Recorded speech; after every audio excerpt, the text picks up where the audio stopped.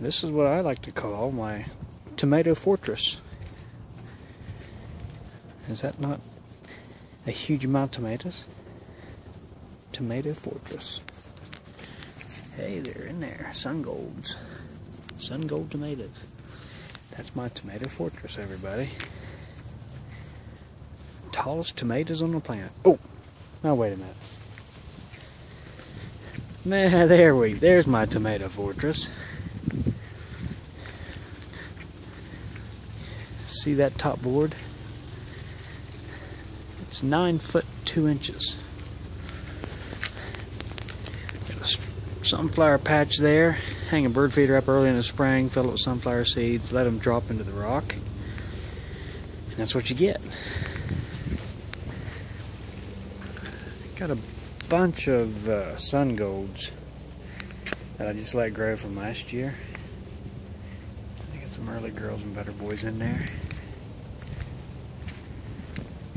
And I got some balls beefsteak. Haven't tried them yet. Sweet 100 sun gold.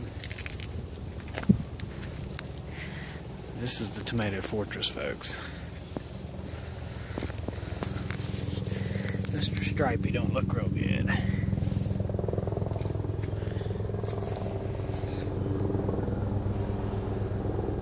Like I said, this top board is nine foot two inches. And you can see I ran out of room in this plant. Jump over. Climbing back down.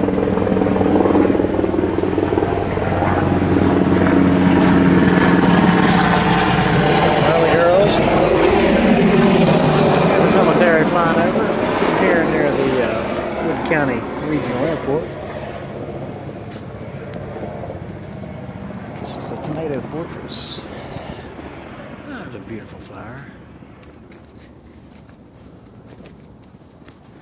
Here we are again. Folks, those are some tall tomatoes right there. Sweet 100s. La Verde Romas. Verde Romas. Early girls. Yeah, I'm gonna have to tie these up tonight. Mortgage lifters.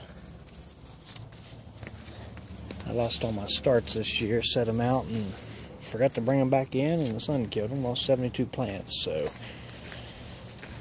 I was at the mercy of whatever the local greenhouses had. These are uh, burpee steak tomatoes. That's what my neighbor gave me. Look like they're pink.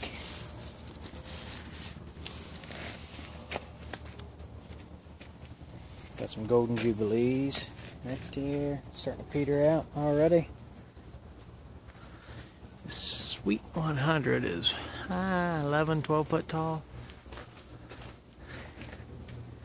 Easily, easily 11 to 12 foot tall. Top board. Top board is 9 foot 2 inches. My tomato fortress.